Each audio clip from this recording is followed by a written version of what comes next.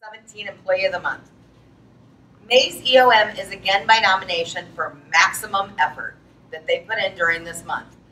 May actually has several holidays that are celebrated, but one that is less known is called the Lucky Penny Day.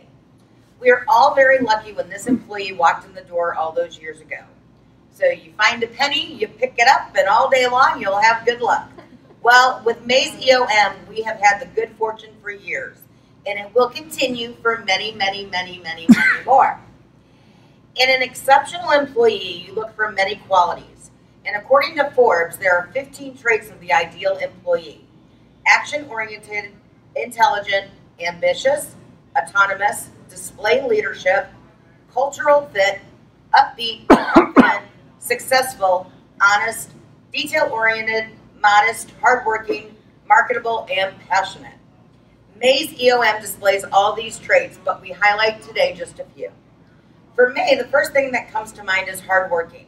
May was a crazy busy month, and this person worked extremely hard and efficiently to help us accomplish our goals for this month. Intelligent and detail oriented.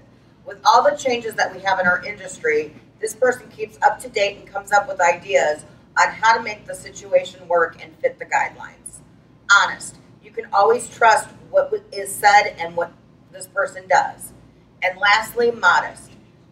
They don't ask to be recognized for what they do and how they do it, but we would like to say, awesome job.